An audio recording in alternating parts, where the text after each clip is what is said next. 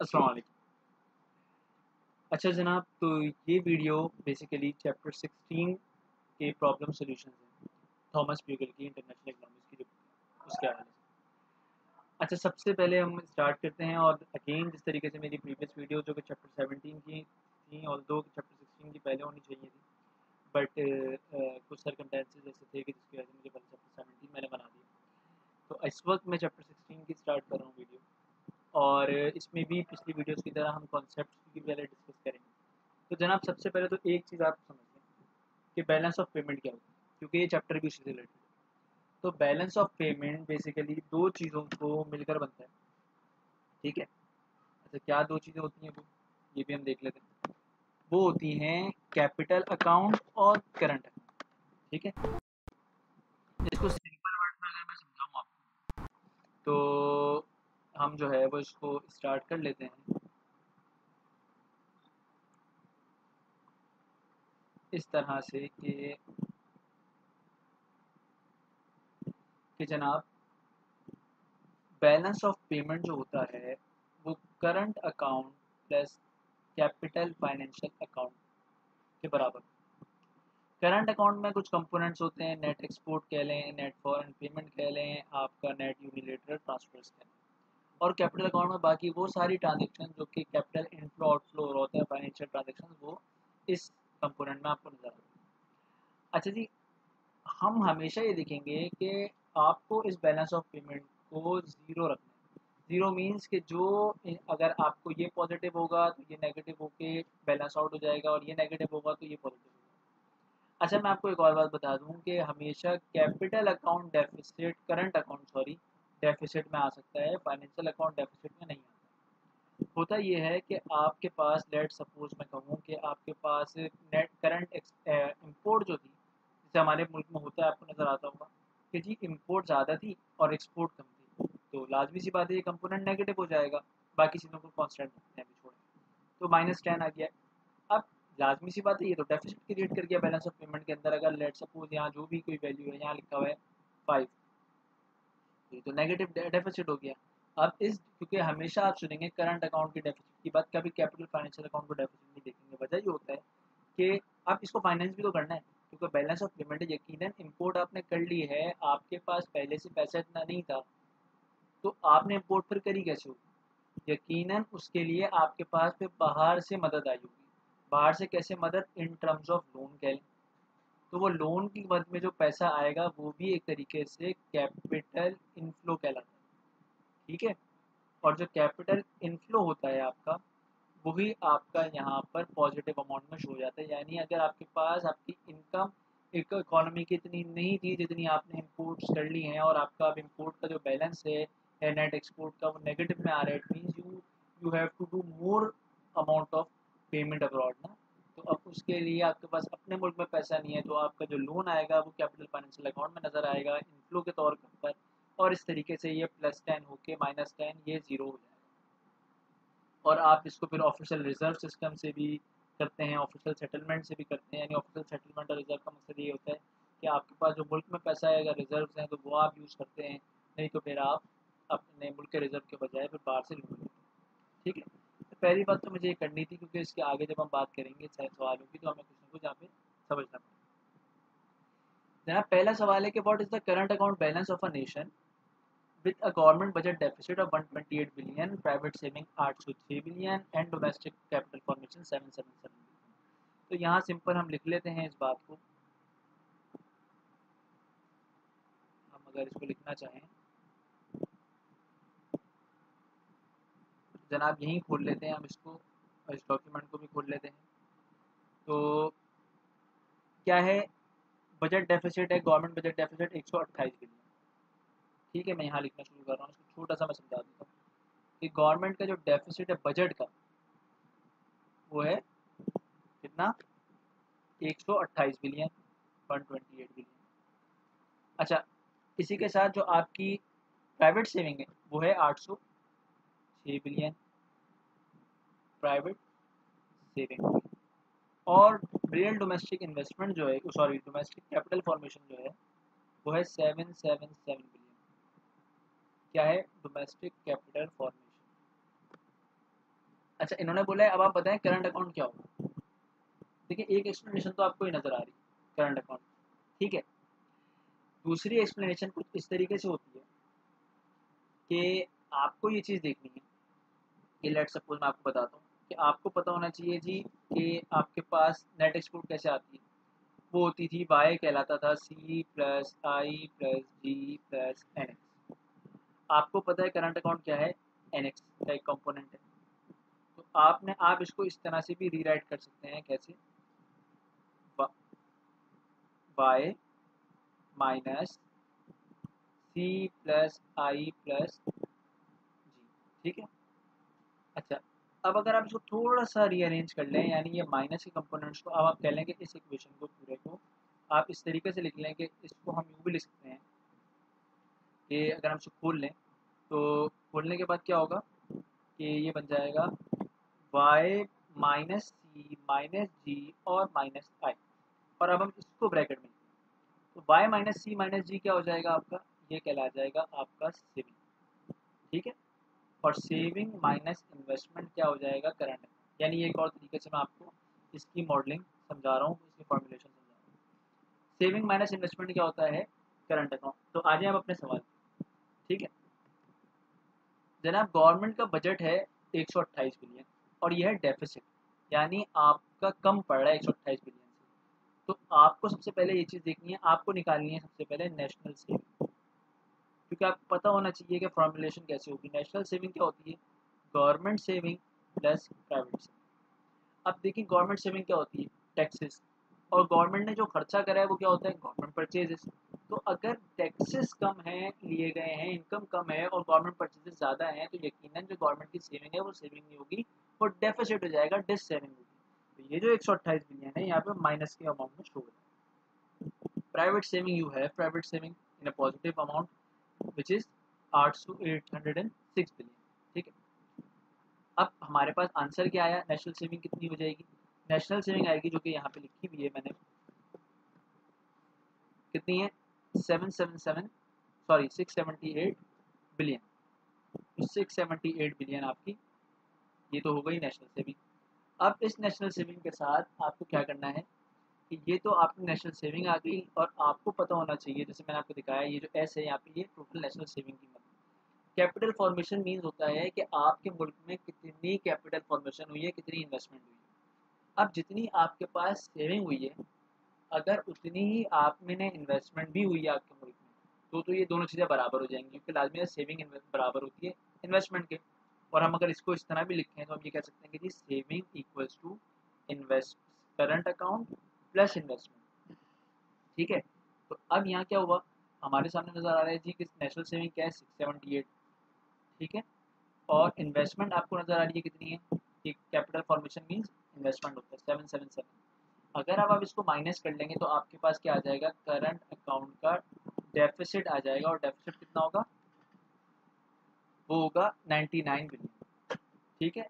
99 billion it means ये जो इसका आंसर आया पहले वाले का वो आ गया कि जी करंट अकाउंट का जो बैलेंस है वो नेगेटिव हो गया है। क्यों? क्योंकि आपके मुल्क में ज़्यादा इन्वेस्टमेंट हुई है और आपके मुल्क के अंदर जो सेविंग थी, आपकी नेशनल सेविंग वो कम थी।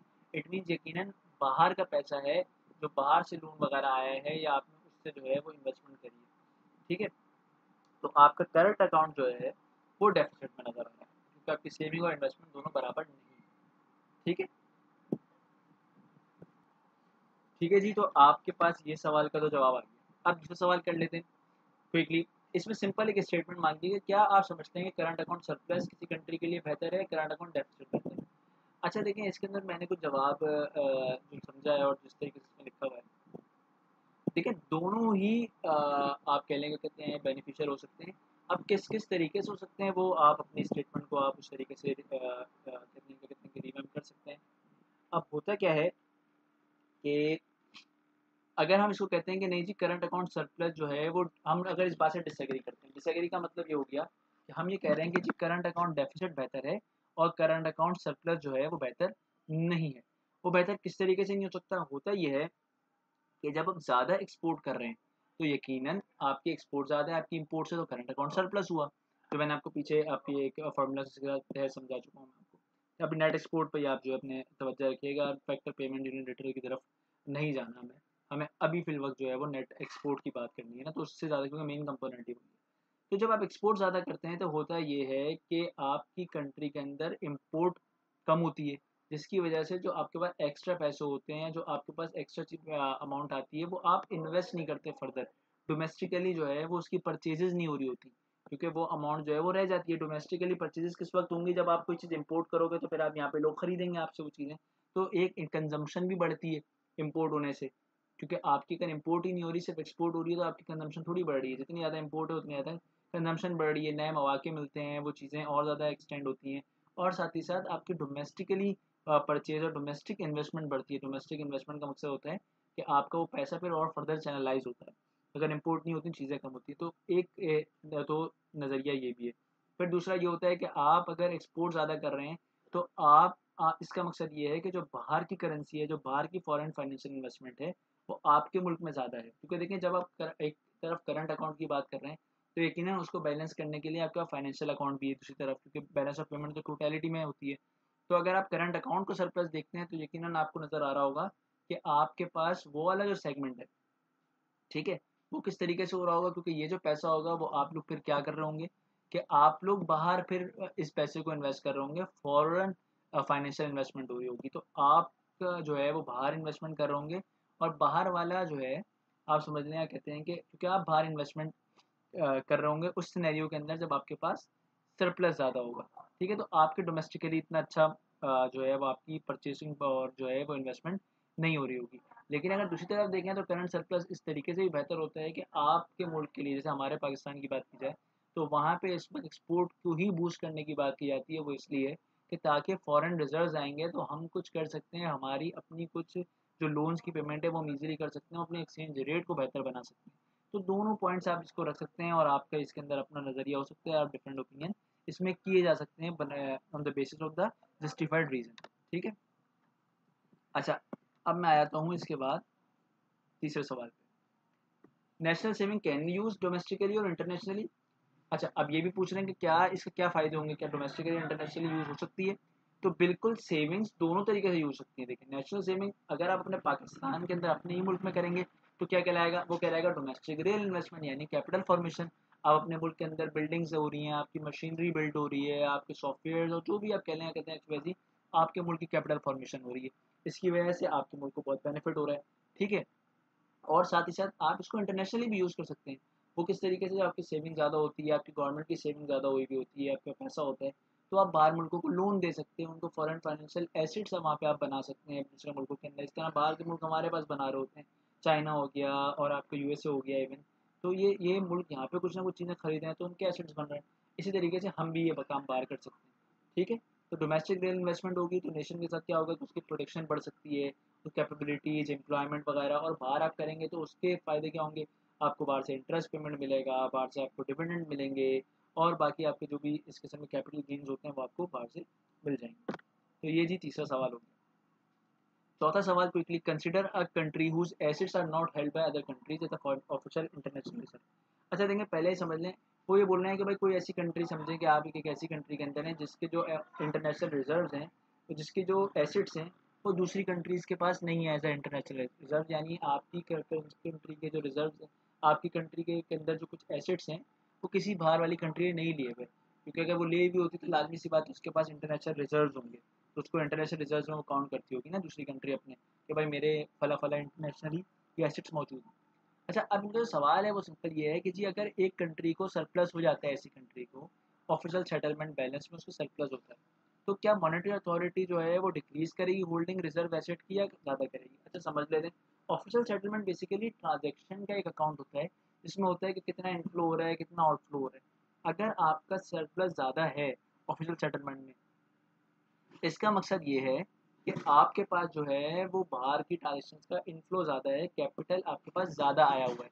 तो अब आप क्या करेंगे? अब देखिए, जब आपके पास कैपिटल ज़्यादा आया होता है, आपके करेंसी ज़्यादा है आपके पास जो है, वो बाहर वालों का पैसा ज़्यादा आया होता है तो अब आप क्या करेंगे? आपका जो ऑफिशियल रिज़र्व बैलेंस है, ठीक है? यानी आपके पास जो अपना रिज़र्व है आप क्या करेंगे, अपने रिज़र्व को कम करेंगे तो आपका बैलेंस होगा क्योंकि आपको बीओपी को अगेन मैनेज करना है। और होता यही है कि जब भी हम तो देखिए, असल में होता क्या है, जैसे कि मैंने इसमें लिखा हुआ भी है कि अगर तीसरी लाइन में पढ़े कि नेगेटिव वैल्यू से क्या मुराद है? ऑफिशियल रिज़र्व बैलेंस नेगेटिव क्यों होना चाहिए? होता ये है कि जब आपके पास सरप्लस आ जाता है, आपके पास बाकी कैपिटल इनफ्लो आता है तो नेगेटिव वैल्यू इसलिए होनी चाहिए ऑफिशियल रिज़र्व की कि आप उस रिज़र्व को फिर बाहर की तरफ़ फ्लो करते हैं, दूसरी कंट्रीज़ की तरफ़, ताकि आप ज़्यादा एसेट्स एक्वायर कर सकें मार्केट का। तो मेंटेन रखना है। तो आप क्या करेंगे कि आपका ऑफिशियल अगर सेटलमेंट बैलेंस जो है पॉजिटिव होगा तो यकीन ऑफिशियल रिज़र्व बैलेंस को नेगेटिव होना चाहिए, ताकि आप इससे क्या कर रहे होंगे आप भी बाहर इन्वेस्टमेंट कर रहे होंगे और बाहर की कंट्रीज़ के अंदर आप अपनी होल्डिंग बढ़ा रहे होंगे। तो जो लिखा है ना उन्होंने कि क्या डिक्रीज करेंगे monetary authority official reserve assets को होल्डिंग को तो ऑफिशियल रिज़र्व के जो एसिड्स के ऑफिशियल रिज़र्व एसिड जो हैं, उसकी तो होल्डिंग इंक्रीज होगी। ऑल दो ऑफिशियल रिज़र्व का जो बैलेंस है, आपके मुल्क में, वो कम होगा, लेकिन इंटरनेशनली ऑफिशियल रिज़र्व एसिड जो हैं, वो आप बढ़ाएँगे। ठीक है? अच्छा अब आ जाते हैं इसके आगे वाले पाँचवें सवाल के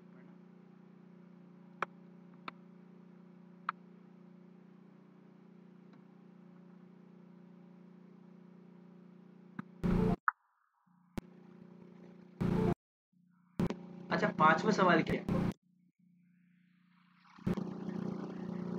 देखिए, पांचवा सवाल ये कहता है कि अब इसमें आपको ना कुछ सिनेरियोज दिए पहला सिनेरियो ये है कि जी, आप बताएँ करंट अकाउंट सरप्लस किन किन सूरतों में होगा?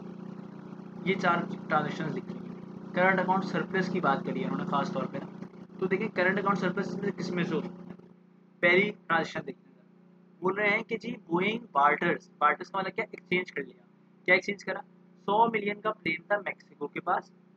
वो जो है, वो इन्होंने मैक्सिको को दिया सौ मिलियन का प्लेन और जो है, वो इस एक्सचेंज के अंदर सौ मिलियन की होटल सर्विसेज़ इन्होंने मैक्सिको से ले ली।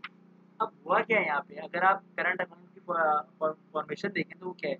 नेट एक्सपोर्ट इम्पोर्ट और एक्सपोर्ट तो एक तरफ़ आपको नज़र आ रहा है कि जी इन्होंने एक्सपोर्ट करा सौ मिलियन का प्लेन बोइंग बोइंग को बार्टर करा मैक्सिको की तरफ़, और मैक्सिको से यूएस ने सौ मिलियन की इम्पोर्ट ले ली। तो इसमें क्या हुआ कि आपके चेंजेस किस तरीके से आएँगे कि एक तरफ़ जो है, वो एक चीज़ इम्पोर्ट होगी, दूसरी तरफ़ एक्सपोर्ट होगी, और आपका करंट अकाउंट अनचेंज रहेगा। ठीक है? दूसरी चीज़, दूसरा कंडीशन यूएस ने बोरो कर लिए सौ मिलियन अच्छा देखिए आप सौ मिलियन बोरो कर लिए। पैसा तो आ रहा है बट ये करंट अकाउंट नहीं ये है कैपिटल अकाउंट क्यों कैपिटल अकाउंट है? क्योंकि जो भी कैपिटल इनफ्लो होगा, वो आपका कैपिटल फाइनेंशियल अकाउंट के अंदर आता है, वो करंट अकाउंट में नहीं आता। क्योंकि एक्सपोर्ट इम्पोर्ट की ट्रांजेक्शन नहीं है फाइनेंशियल ट्रांजेक्शन और उसके बाद कह रहे हैं from Saudi Arabia to buy hundred million और सऊदी ऑयल दिस ईयर उन्होंने बोरो भी सऊदिया से ही करे हैं, और अब उनको क्या करना है? उन्होंने बाय भी मतलब कह लेंगे कहते हैं कि सौ मिलियन तो एक तरफ़ से तो फाइनेंशियल अकाउंट में ले लिए। दूसरी तरफ़ से क्या है टू बाय सौ hundred million of Saudi oil this year अब देखें, जब आप बाय करेंगे, एक तो हो गया कि लोन आ गया, वो तो आ गया फाइनेंशियल अकाउंट में, उसको तो आप छोड़ दें। अभी करंट अकाउंट की बात करेंगे जब सौ मिलियन आप बाय करेंगे तो आप इम्पोर्ट कर रहे हैं सऊदी से तो ये ट्रांजेक्शन इम्पोर्ट में आएगी, जिसकी वजह से करंट अकाउंट डेफिसिट क्रिएट होगा।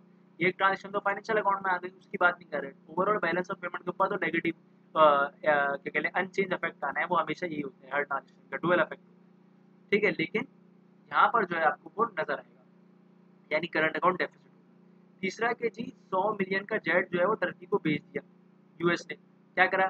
सिंपल एक्सपोर्ट करी।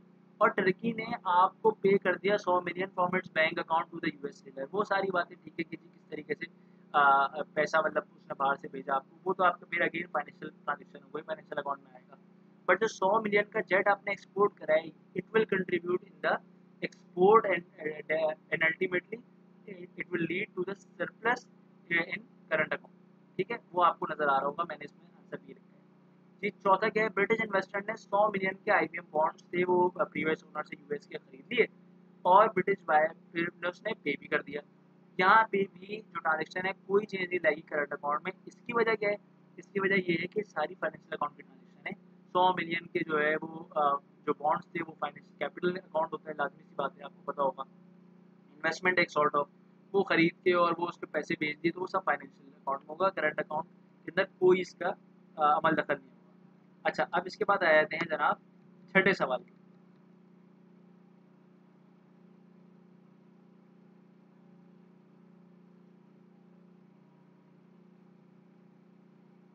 अच्छा देखिए, इसमें बोलना है कि आप अब बताएँ कि in in current account balance में इंक्रीज होगा या डिक्रीज पहला सिनेरियो क्या है जनाब? Net foreign investment of the country अच्छा देखिए, मैंने अभी आपको बताया था सेविंग और इन्वेस्टमेंट का ना।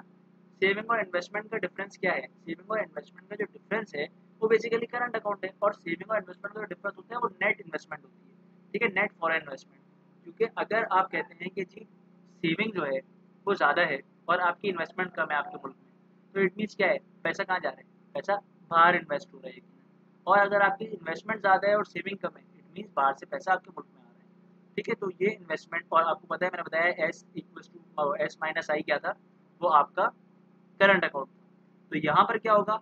आपका पहला जो सवाल है वो यही है कि जी नेट फॉर इन्वेस्टमेंट होती है करंट अकाउंट के बराबर। तो अगर नेट फॉर इन्वेस्टमेंट बढ़ रही है बाहर तो आपका करंट अकाउंट सरप्लस में जाएगा, बढ़ेगा। दूसरा एक्सपोर्ट हुई गुड और सर्विसेज़ की जो कि 10 बिलियन से बढ़ गई और इम्पोर्ट करी, वो भी 10 बिलियन से बढ़ गई।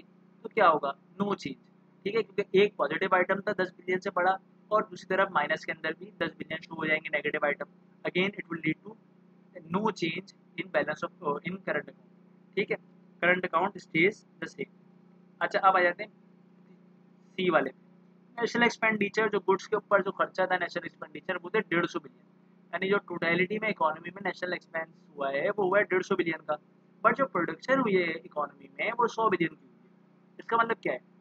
यकीनन आपने जब बनाई ही इतनी चीज़ें नहीं तो खर्चा कैसे हो गया? यकीनन आपने बाहर से कोई चीज़ इम्पोर्ट करी है तो जो नेट इसका आप कर लेंगे माइनस करके तो जो फिफ्टी बिलियन होगा, वो बेसिकली आपकी इम्पोर्ट होगी, यानी इट इज़ योर इम्पोर्ट और इम्पोर्ट जब बढ़ती है तो it will lead to current account deficit ये मैंने नीचे लिखा हुआ भी लास्ट वाला इसमें, क्योंकि अभी इस वीडियो का जो लास्ट कहने का कहते क्वेश्चन का लास्ट पार्ट है इस वीडियो कि to assist recovery from a foreign disaster जो रिकवरी के हो रही थी, किसी फॉरन डिजास्टर के अंदर किसी बाहर मुल्क की, इस कंट्री ने क्या करा? अपनी ट्रांसपोर्ट फॉरन ट्रांसपोर्ट अथॉरिटी को एक ट्रांसपोर्ट इक्विपमेंट भेज दिया, जो कि इस कंट्री ने खुद बनाया था और उसकी वैल्यू थी पाँच सौ मिलियन लेकिन ये भेजा कैसे? ये डोनेशन करी अब देखें, अब इसकी ट्रांजेक्शन किस तरीके से आती है? इसकी ट्रांजेक्शन इस तरीके से आती है पैसा तो नहीं आया। पैसा आता तो फाइनेंशियल अकाउंट में आता। अब हुआ क्या कि यहाँ पे करंट अकाउंट बनना, वैसे अगर कोई और चीज़ होती तो हम कहते जी एक्सपोर्ट है, और एक्सपोर्ट की वजह करंट अकाउंट सरप्लस कहते थे। लेकिन यहाँ पर क्या हुआ ये डोनेशन थी। तो मैंने आपको पहले ही बता दिया था एक अपनी जो फॉर्मुलेशन में कि net export net foreign payment और साथ ही साथ आपका नेट यूनिलेटरल ट्रांसफ़र भी करंट अकाउंट का पार्ट होते हैं कंपोनेंट होते हैं ठीक है? तो यहाँ पर क्या होगा, एक तरफ़ तो आपको एक्सपोर्ट नज़र आ रही है, क्योंकि मुल्क से देखें चीज़ तो बाहर गई है, आपकी बनी आपकी प्रोडक्शन जो थी वो बाहर गई है। उसके अगेंस्ट में आपका पैसा नहीं आया तो आपके पास क्या आएगा? आप ये अमाउंट नेट यूनिलेटर ट्रांसफ़र में माइनस के तौर पर शो करेंगे कि आपके पास से ट्रांसफ़र किया है। It mean it will lead to no change in current account ठीक है? ये भी मैंने लिख दिया है। तो आई होप आपको ये क्वेश्चन के आंसर समझ आए होंगे। तो इसके आगे की वीडियो में इंशाल्लाह मैं जल्द अपलोड करूँगा। क्योंकि आपको नज़र आ ही रहा होगा क्वेश्चन नंबर सेवन भी नीचे तो इसकी भी मैं इंशाल्लाह वर्किंग करके इसके ऊपर इसके आंसर्स की मैं आपको ये वीडियो भी शेयर करूँगा। तो अगर वीडियो पसंद आई हो तो लाइक करना मत भूलिएगा।